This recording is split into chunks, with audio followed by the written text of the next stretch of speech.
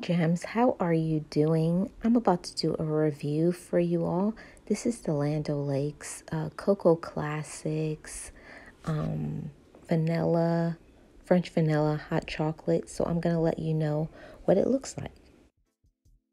So here is what the hot chocolate looks like. You know, it looks like a normal powdered hot chocolate, but the most important thing, what does it taste like?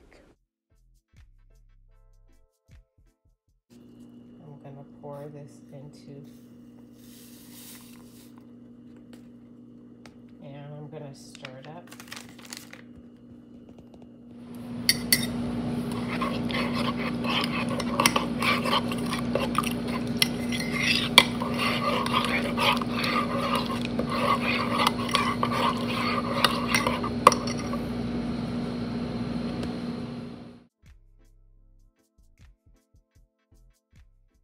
Smells really good.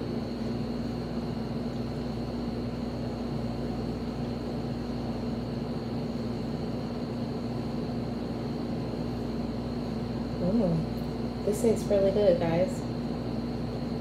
And it's not too sweet.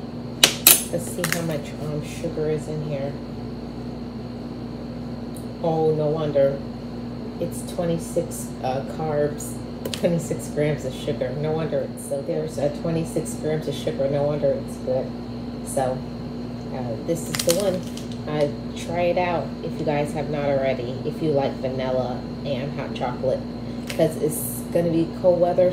Um, it's cold weather season,